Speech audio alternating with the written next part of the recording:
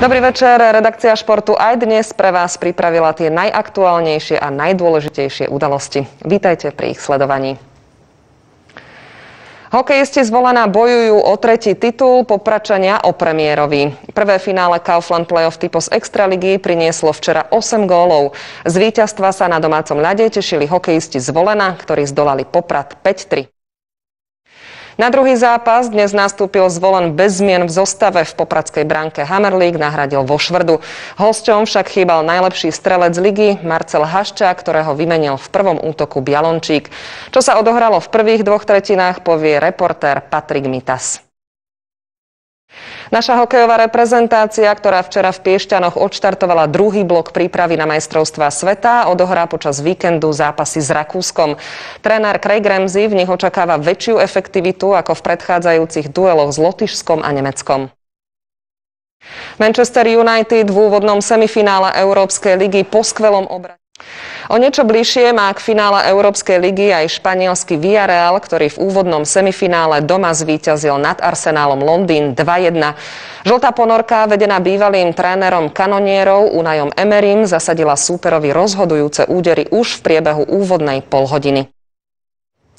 FC Nitra nedostal od prvostupňového orgánu licenčného konania zatiaľ licenciu pre štart v budúcej sezóne.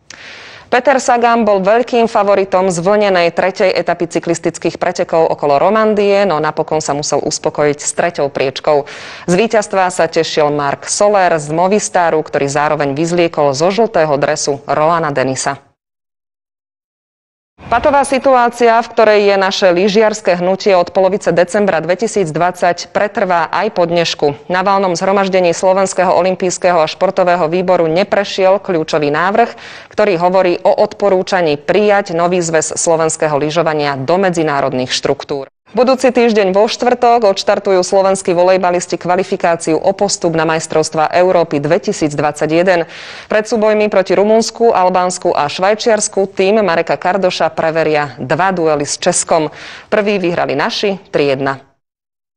V poľskom Choržove sa zajtra uskutočnia neoficiálne štafetové majstrovstva sveta. Atleti budú bojovať o miestenku na budúcoročný svetový šampionát v americkom Eugene a o účasť na olympiáde v Tokiu. Na oboch vrcholoch nechce chýbať ani Slovensko.